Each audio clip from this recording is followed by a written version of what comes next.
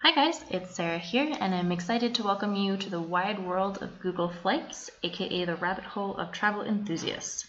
Google Flights works all over the world so you can use it to find cheap flights over from the US, but for the purposes of this video, I'm going to show you how to find flights to fun places once you're already in Europe.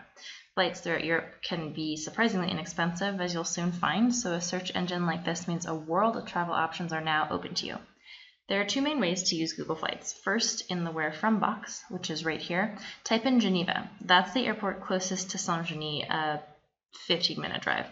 From there, you can either choose to search by destination or by date. If there is a specific city you'd like to visit while you're here, search by destination. Enter the city you'd like to visit in the Where To box right here. So we'll say Edinburgh. And then select the dates you'd like to visit. Mm, so we'll say maybe a two-day trip. From there, you can see that Google will populate a calendar that shows you all the different prices of your flight throughout the year. And you can scroll through like this to find when it is cheapest to visit your city. But there are also a couple different ways to view your price options. By calendar, for example, but also if you have flexible dates, go ahead and click the tab right up here and Google will show you if you leave on Wednesday, December 2nd, how your prices vary depending on your return date. And if you're really flexible, you can see that if you leave on different days, then you can find cheaper options. But my favorite is actually the price graph, which is right here. Just make sure that you're searching for lowest fares for a two-day trip in this case, and you can see, ew, Christmas is the worst time to travel, but it looks like Edinburgh is decently inexpensive in the off-season winter before kind of hiking up again in the spring and inevitably summer. Now, if you know when you want to visit but don't have a specific city you want to visit, Google has an excellent function known simply as Explore Destinations.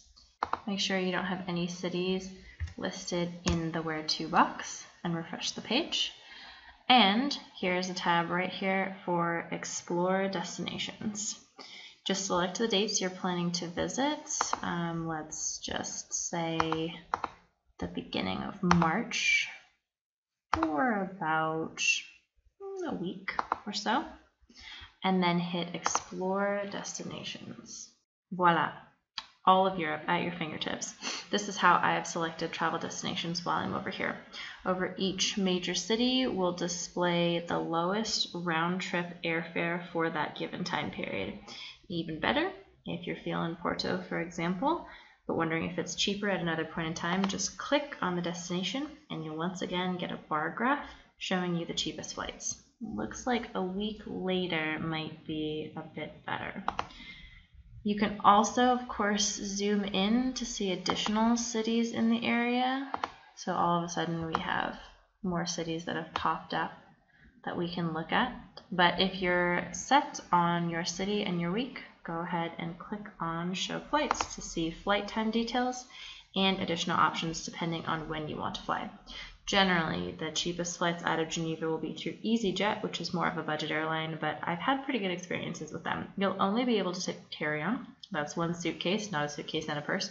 And there are no beverages on the flights, but since we're in Europe, you'll probably only be on the plane for about an hour and a half anyway. You can move through the selection process to purchase tickets once you have selected flights. So we'll go the cheapest and the cheapest. And then you can go ahead and move forward. So there you have it. If you know where you'd like to visit, you can go ahead and search by dates to find fun cities to explore. If you know where you'd like to visit, you can figure out a good time during the year to fly over. Either way, it's a powerful tool, and I encourage you to spend hours and hours on it like I do. And of course, I'm super excited to see you, so get looking. Much love.